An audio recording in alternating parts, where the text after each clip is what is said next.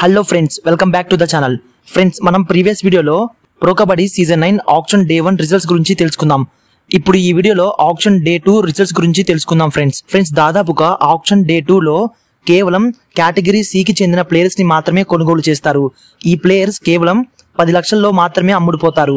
So ఆ players ఎవరెవరో ఏ ఏ team ఏ ఏ ప్లేయర్స్ని కొనుగోలు చేసిందో ఈ వీడియోలో మీకు క్లియర్గా ఎక్స్ప్లెయిన్ చేస్తాను ఫ్రెండ్స్ ఓకే ఫ్రెండ్స్ వీడియోలోకి వెళ్ళే ముందు ఈ వీడియోని లైక్ చేయండి షేర్ చేయండి.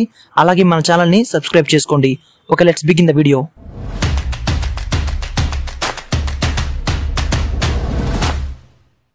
Bengal Warriors. Bengal Warriors day two ఆప్షన్లో సులీమాన్ని పది లక్షలకి కొనుగోలు చేసింది. అలాగే ఆల్రౌండర్ అయిన వినోద్ కుమార్ని పది లక్షలకి కొనుగోలు చేసింది. డి బాలాజీని ఇరవై లక్షలకి కొనుగోలు చేసింది. ప్రవీణ్ని పది లక్షలకి కొనుగోలు చేసింది.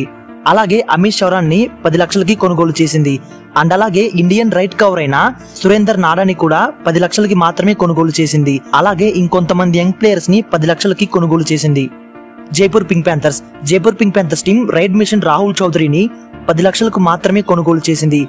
అలాగే కేటగిరీ కి చెందిన కొంతమంది యంగ్ ప్లేయర్స్ని కూడా కొనుగోలు చేసింది. Next team Dabang Delhi. Dabang Delhi team defenders అయిన విశాల్ ఎండి లతున్ అనిల్ కుమార్ అమిత్ హుడాను కొనుగోలు చేసింది. అలాగే ఆల్రౌండర్ అయిన తేజస్ పటేల్ని కూడా కొనుగోలు చేసింది. నెక్స్ట్ యూపీయోధ యూపీయోధ టీం నైజీరియాకి చెందిన జేమ్స్ క్యాన్వితీను పది లక్షలకి కొనుగోలు చేసింది. అలాగే ఇరానియన్ ప్లేయర్ అయిన అబోజర్ మిగానిని ఇరవై లక్షలకి కొనుగోలు చేసింది. అండ్ అలాగే కేటగిరీ సికి చెందిన గుర్దీప్ జైదీప్ రతన్ గుల్వీర్ సింగ్ నిహాల్ దేశాయ్ వంటి యంగ్ ప్లేయర్స్ని పది లక్షలకి కొనుగోలు చేసింది.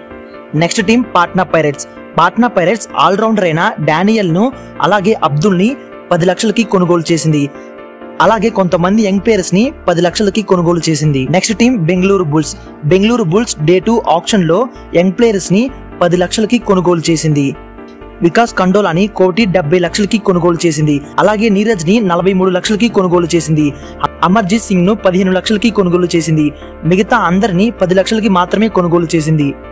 నెక్స్ట్ టీం పునేరి పైథాన్ పునేరి పైథాన్ కూడా డే టూ ఆప్షన్లో కేటగిరీ సికి చెందిన యంగ్ ప్లేయర్స్ని పది లక్షలకి కొనుగోలు చేసింది.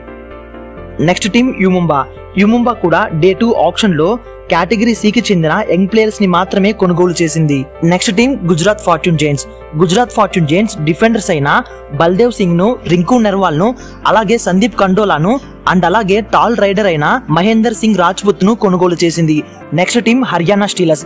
Haryana Steelers senior player అయిన జోగిందర్ నెర్వాల్ను కొనుగోలు చేసింది. అలాగే ఇరానియన్ ప్లేయర్ అయిన మహమ్మద్ ఇస్మాయిల్ని కూడా కొనుగోలు చేసింది.